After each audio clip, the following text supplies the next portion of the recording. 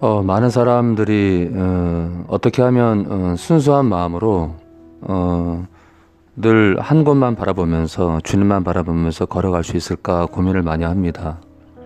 목사님, 왜 우리는 무너질까요? 우리는 왜 어, 우리 마음이 혼탁해지고 어, 주님 것으로만 어, 채워야 되는데 우리는 왜 세상 것에 욕심을 두고 왜 우리는 우리 신앙인들은 어, 그렇게도 무너질까요? 그래 사대교회 어, 사자, 사대교회 영적 리더조차도 살았다 살았다는 이름은 가졌지만은 죽은 자라고 주님께로부터 아주 강한 책망을 어, 그러니까 이제 어, 만약 그날 어, 1, 2회 시간표가 끝나게 되면 사실, 어, 사실 사대교회 책임자는 그 영적 리더는 어, 천국을 못 간다는 얘기인데 목사님 왜 그렇게 많은 영혼들이 왜 그렇게 많은 영혼들이 생명책에서 이름조차 지워질까요? 왜 우리는 마음을 지키지 못해서 우리는 왜 마음이 그렇게 혼탁할까요? 바로 히브리서 10장 22절에 답이 있어요, 여러분들. 바로 이 문제 때문에 바로 이것 때문에 성령께서는 우리 안에 계시는 성령께서는 십자가의 충돌하고 어, 주님을 온전히 믿는 사람들 안에 들어와 계신 성령께서 바로 이것에 주목하게 하는 겁니다. 바로 보혈입니다. 우리가 마음이 우리 마음이 온전히 우리 마음이 늘 순수한 마음으로 우리 마음이 아니 우리가 어, 아무리 우리가 발버둥 쳐도 어, 우리가 연약할 수는 있지만 그래도 다시 우뚝 서서 주님만 따라갈 수 있는 비법은 바로 보혈을 의지하는 삶입니다. 우리 말씀 볼까요? 우리가 마음의 뿌림을 받아 바로 이 뿌림은 예수님의 피가 우리 마음에 떨어졌다는 겁니다. 그러니까 우리가 처음에 어, 우리의 죄를 고백하고 어 그리고 십자가 앞에서 우리의 죄를 회개하고 그리고 우리의 지난날의 죄를 회개하고 주님 없이 살아왔던 것들을 회개하고 하나님 없이 살아왔던 것을 회개하고 우리가 주님을 믿게 되면 예수님의 피가 예수님의 피가 우리 마음에 떨어집니다. 우리 그리고 우리 영 우리 영 안에 뿌려집니다. 그리고 성령께서 들어오시는 거예요. 자, 뭐라고요? 예수의 피가 우리가 믿을 때 우리가 어, 십자가의 그 피를 어, 그, 그 피의 은혜를 믿잖아요. 그럴 때 우리가 예수의 피가 우리 마음에 우리 영에 쫙 뿌려진다는 거죠. 그래서 우리가 어, 처음 우리가 어, 주님 만 어, 주님 만나서 처음 주님 만날 때 그 첫사랑이 뜨거운 거예요. 자, 그럼 있잖아요. 왜 그렇게 우리가 첫사랑이 뜨겁죠? 바로 보혈입니다. 그 보혈의 은혜 때문에 그 보혈의 능력 때문에 우리의 마음이 뜨거웠던 거예요. 그러면 그 마음을 계속 유지하려면 어떻게 하면 되죠? 네, 여전히 그 보혈을 의지하는 삶을 살면 되는 거예요. 어떻게 해요?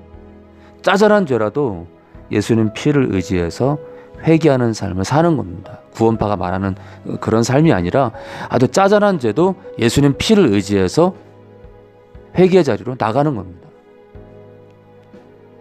우리가 마음의 이 뿌림, 피 뿌림을 예수님의 피 뿌림을 받아 양심의 악을 깨달았대요.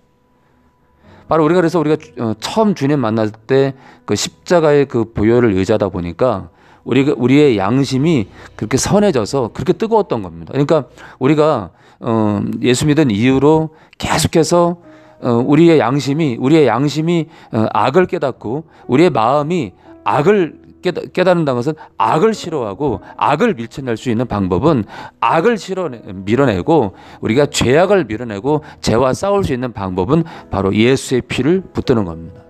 예수님 피를 묵상하는 겁니다. 어, 한우수만교회 식구들 또 유튜브로 제 영상을 보는 어, 여러분들은 어, 예수님 피를 얼마나 의지합니까? 우리는 예수의 피로 살아야 됩니다. 날마다 예수의 피를 잡아야 됩니다. 그러지 않고서는 우리 양심이 우리 마음이 악을 깨달을 수도 없고 우리는 선을 행할 수도 없어요. 우리 스스로는 선을 행할 수. 그래서 로마서 8장 13절에 육신대로 살면 너희가 육신대로 살면 반드시 죽을 것이로되 그 뒤에 나오는 그 영이 우리 영이 아닌 거예요.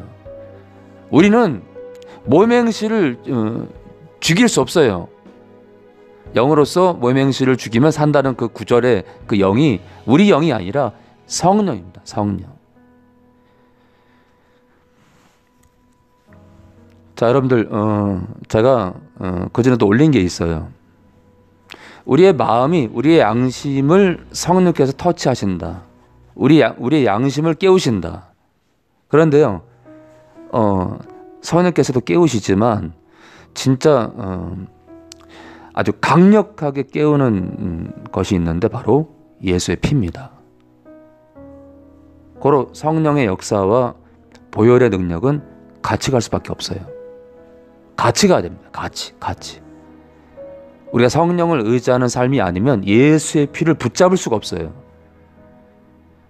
성령을 의지할 때 성령께서는 예수님의 그 예수님께서 흘리신 그 피의 능력을 힘입기 원하는 거예요. 늘 예수의 피로 살기 원하는 그 삶으로 인도하십니다. 아무쪼록 어, 오늘 10장 22절에 우리가 예수님의 피 뿌림을 받아 처음에 그 양심의 악을 깨달았던 것처럼 날마다 우리의 양심이 우리의 마음에 우리 마음이 악을 죄악을 이 죄를 어, 깨달아서 죄를 밀어낼 수 있는 어, 그것이 바로 예수님의 피 때문에 가능하니까 이 말씀을 따라 예수님 피를 의지해서 우리가 늘 순수한 마음으로 깨끗한 마음으로 주만 바라보면서 걷기 원합니다.